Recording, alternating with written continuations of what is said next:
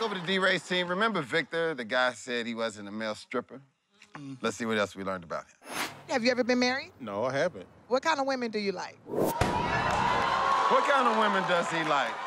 Tall, nice chest, elegant, pretty feet, built like a bucket.